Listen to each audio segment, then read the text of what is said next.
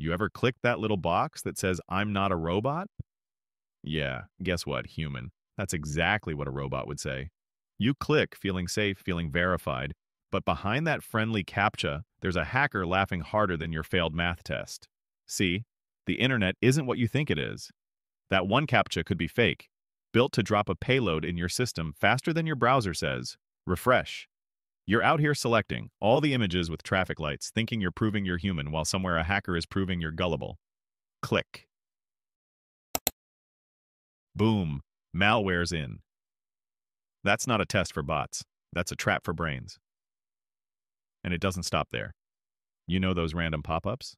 Click here to win an iPhone 15 Pro Max. Yeah, click it, and congrats. You just won a free Trojan horse. Every fake redirect, every shady torrent, every innocent-looking download now button, they hide a payload behind the pixels. Sometimes it's in an image, sometimes it's behind a fake hyperlink tag, and sometimes it's buried deep inside that free cracked software you just had to install. Guess what came free with it? Malware, ransomware, and an uninvited hacker living inside your PC rent-free. But the internet's paranoia doesn't end there. You ever open an email and instantly regret it? Not because your ex texted you back, but because an invisible one by one tracking pixel just told some stranger, hey, he's online right now, here's his device, his IP, and his location. Come get him?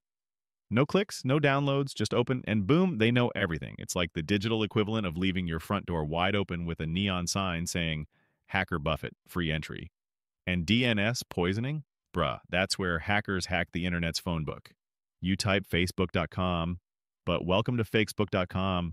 The exact same logo, same colors, same vibe. Except it's me. I own this site. You log in, I grab your credentials. And before you even realize it, I'm inside your email, your PayPal, and your Netflix account watching Stranger Things before you for free while you cry in real life. Public Wi Fi? Yeah, connect to Starbucks free Wi Fi. Guess what, genius? That's my laptop. I made an evil twin network that looks 100% legit, and the second you join, every packet, every password, every private DM flows right through me. I can inject ads, redirect your browser, strip HTTPS, even open hidden pop-ups that install silent malware. Congratulations. You didn't just connect to Wi-Fi, you connected directly to me. And then we reach zero-click exploits, the real nightmare fuel. Forget clicking, downloading, or visiting shady sites. All it takes is one message, one WhatsApp ping, one iMessage notification. You didn't tap anything, but your phone's now compromised, your camera's live, your mic's hot, and your data is silently being vacuumed into some hacker's private server. Pegasus spyware did this at scale. Governments used it to hack journalists, CEOs, politicians, without a single click. Scary? Nah, terrifying. And the funniest part? Most people think they're safe because I have antivirus. Hackers bake their malware like Michelin star chefs.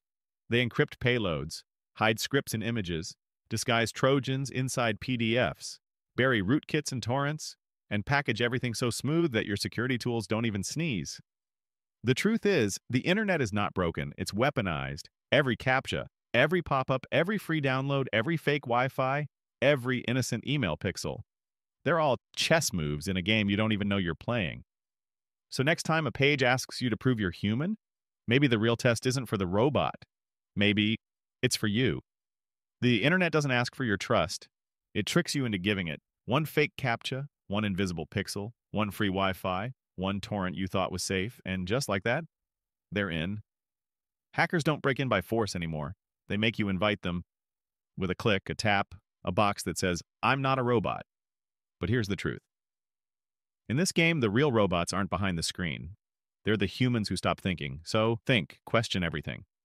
Because in the digital world, the biggest vulnerability is trust. And if you want to stay ahead of them, stick with me. Because this, this is just the surface.